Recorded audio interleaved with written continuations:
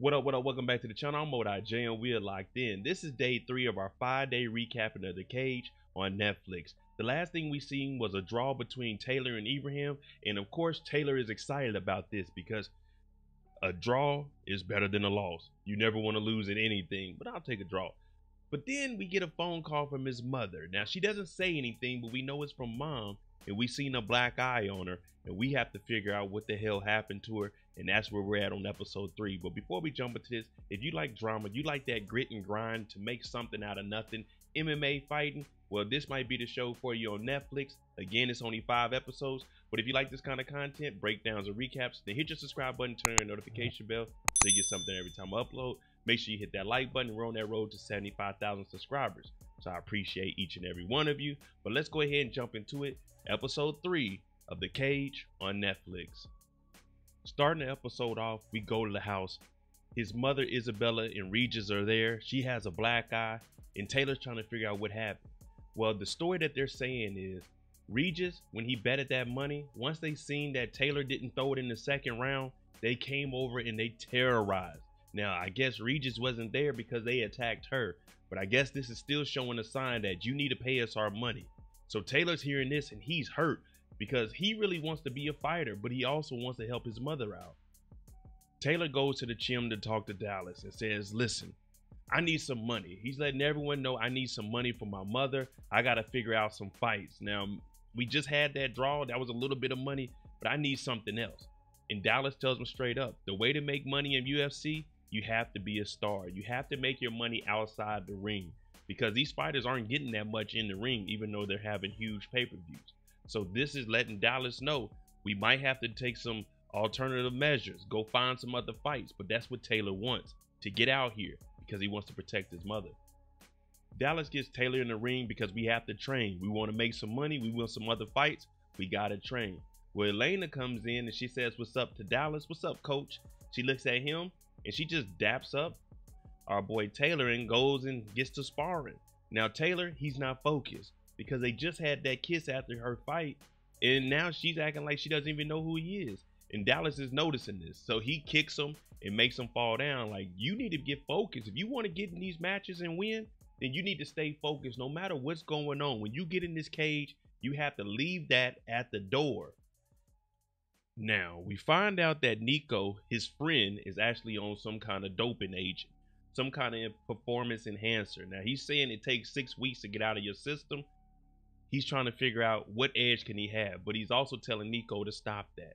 Now Niko hears this and he sees that Taylor is blowing up. He's viral, so he tells him everyone in the gym sees you trying to talk to Elena, but Elena's not going to mess with any gym guys. She's worried about her reputation and she's a fighter, so you should leave her alone. Plus, I know from experience. So Niko is basically saying, I tried to talk to her and she turned me down. You leave her alone. And no, I'm not. Just because she shot you down, don't mean she's gonna shoot me down. So now that everyone knows that Taylor is trying to fight because his mom owes forty thousand dollars, there's a tournament. Now this tournament is vigorous. You're gonna have to get in there and it's nonstop fighting. But the winner of this tournament wins one hundred thousand dollars. So Taylor and Niko, they hear this. Bilal was like, "Why do you guys want to know about that?" Uh, because we're about to enter into it. We need that hundred thousand dollars. Taylor goes to talk to Dallas and says, Dallas, I gotta holler at you real quick. I know we got to fight in December, but that's too far away. I need money now. And Dallas is trying to explain to him, this is MMA, man. This isn't just going to run, racing each other 100 yards. No, no, no, no, no. You got to be mentally, physically, emotionally, spiritually focused on this. You can't just go jump into a tournament where you might have to fight three or four people in one night. Plus, they're going to outweigh you. But Dallas is like, you need to take a step back, Taylor. You're good, but you're not great. You're not even above average at this point because Dallas has been training with him and he knows. I've been calling Boss Dallas because he's like a maverick. The way he's trying to make this work for Taylor. He's trying to get Taylor to understand that I've been doing this. But Boss comes to a realization that Taylor isn't going to back down because he's doing this for his mother. And you got to make some money anyway especially if someone's assaulting your mom and you don't know who it is, you got to get out here and get it. After the training, Taylor walks Elena to her car, but he starts asking a couple of questions. Now, these questions are pertaining to her and why she doesn't date any of the fighters. Because remember, Niko had already told him, oh yeah, she'll shoot you down. But she says the reason she doesn't mess with any fighters is because of their egos and turning them down, they might turn into someone else. So basically, she just wasn't interested in Niko. But as I always say, just because she's not interested in one person, don't mean she's not interested in you. But she makes it clear that nine times out of ten, she's not going to talk to a fighter. Boss has Taylor in here training, but he's like, we're going to cut it early. We're going to cut it early. That's it. We're good. Taylor's saying, no, I got a lot of energy. Well, Boss had a surprise for him. You remember he went out onto that talk show? Well, these UFC legends, they're coming in here and they're actually going to train him. They're going to train him on his positioning. They're going to train him on some grappling. They're really trying to help him go to the next level, especially if he's about to get in this tournament. Now, remember, this tournament, he's going to be fighting up at least 10 pounds minimum. And in fighting, one pound can change everything. All right, tournament time. We make it to Warsaw, Poland. Now, I've been to Warsaw, Poland, but I went in the winter months. Let me tell you, it gets cold there, but it's a nice city. And so is Luz. They're in here and they're training. KSW. This tournament is all in one night, meaning you fight, you win, you fight again. You fight, you lose, you go home. They back here, they training. You can see that Niko, he's looking a little jealous, but we're all here, we're all focused. And boss, he has to get Taylor's head in the game. Now, before the match starts, he tells Niko to turn his phone on, and anyone that messages him, he trusts Niko enough because this is like a brother to him to message them, to let them know what's going on behind the scenes and letting them know that Taylor is focused and he's prepared. Now, boss, he's looking and he's saying, man, something ain't right about this kid, Niko. All right, it's time for the first match. And the first match is against a Russian, and he got him by at least 15 to 20 pounds. Everyone's like, damn, man, these dudes, they kind of heavy to be trying to go against Taylor, but Taylor's got to get in there. And the game plan is to let it come to him. One, because you'll be quicker than them, but they got that weight and that strength. So let the match come to you. And just as the game plan was written out, the Russian attacks Taylor, and it's a flying knee to the nose. First round knockout. So this match only went on for like 10 seconds. Taylor is like, woo. I'm looking at it like, damn, boy, that's a horrible way to go out. As soon as you rush, you get hit with a knee and you're down for the count guess what? There ain't no count. It's over with. Knockout. After the fight, Taylor's like, I did what you said, coach. I let it come to me, man. Whew. I ain't gonna lie. I thought he was gonna get me, man. He had me by like 20 pounds. But when they get in the back, he's got to get prepared for his next fight. But he asked for his phone from Niko. Boss is saying, nah, man, you don't need that right now. Niko says, well, it looks like it must be important. Someone's hitting you up.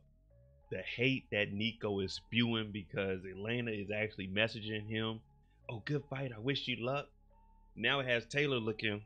Niko, were you hating the whole time? What What are you doing going through my messages, man? I said just reply to anything important, not just read through my conversations. The next fight is against another Russian. This time, 25 pound difference.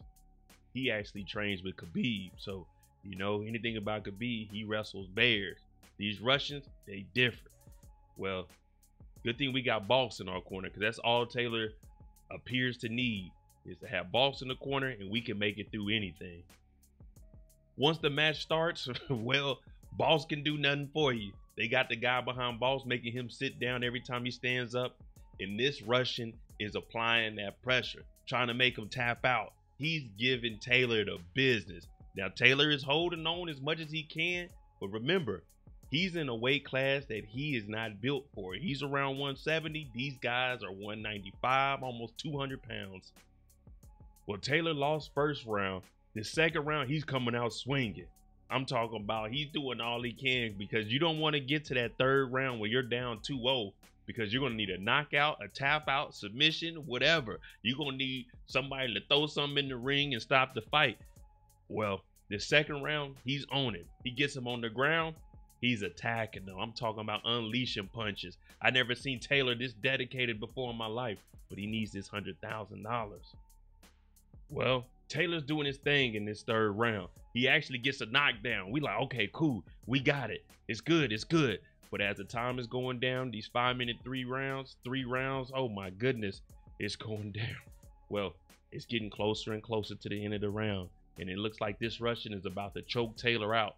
All Taylor has to do is hold on, but it's easier to hear someone yell, Hold on, just 10 seconds, while you're getting choked out and you can barely breathe trying to get saved by the bell.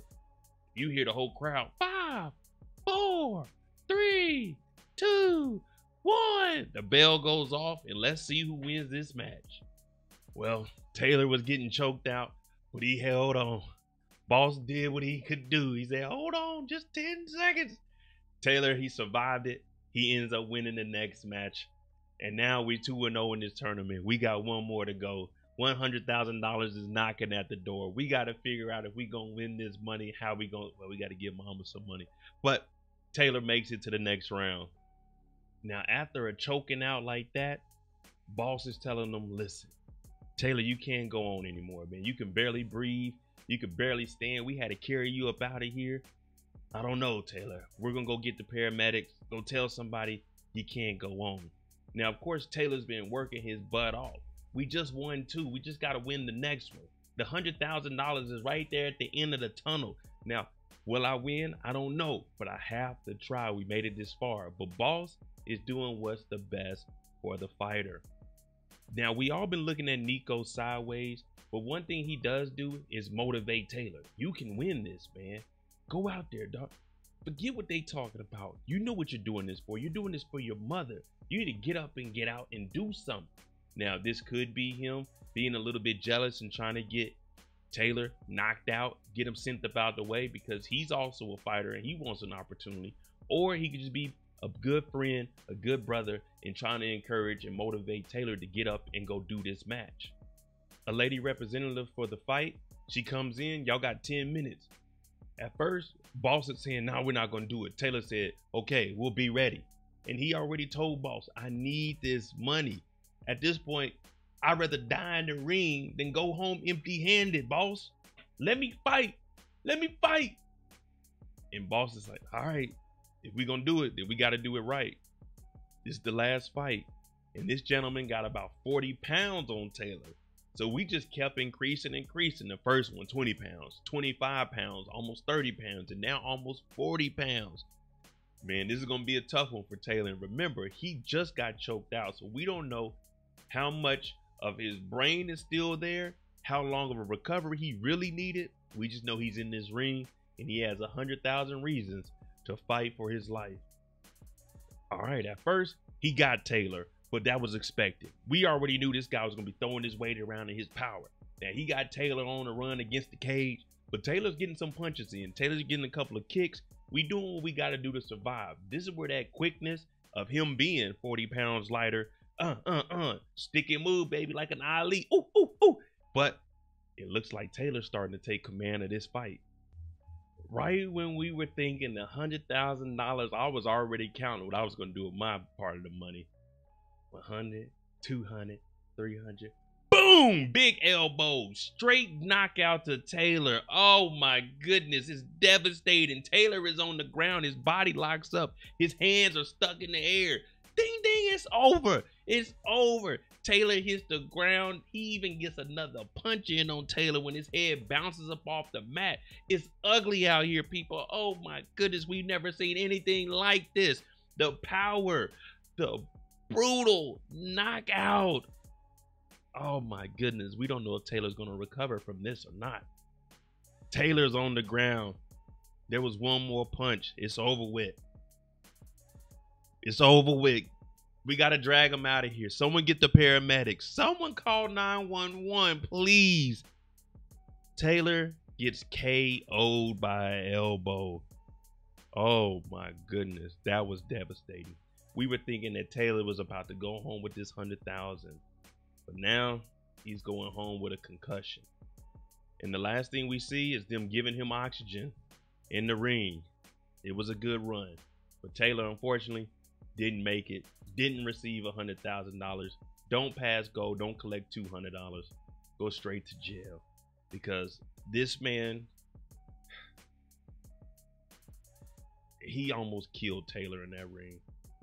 All right, there you go. Episode three of the cage. Let me know what you think about that knockout. If you got knocked out like that in the ring, I know this is your profession, Are you ever getting back in that ring? Are you thinking maybe this isn't the sport for me? Maybe I just need me a desk job. Let me know what you think. I'm Mo.J. Make sure you tune in tomorrow for episode four, day four of the five day recap of The Cage on Netflix. I'm Mo.J. If you like this kind of content, hit that like button, hit that subscribe button. Thanks for watching. I'm out. Jimmy on a beat, boy.